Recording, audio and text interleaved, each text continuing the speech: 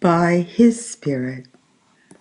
One of the most comforting things to me concerning being joined to the Lord is that it is by His Word and Holy Spirit that we are joined to the Lord.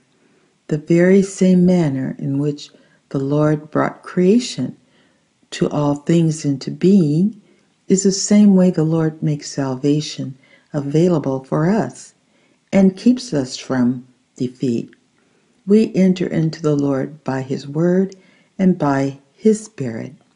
By the Lord's purposely working by His Word and Holy Spirit, we enter into the Lord's kingdom. Matthew 12 28.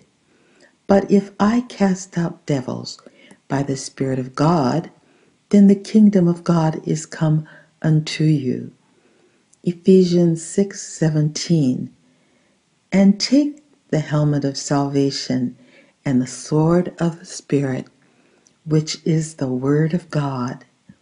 Luke eleven twenty. But if I, with the finger of God, cast out devils, no doubt the kingdom of God is coming to you.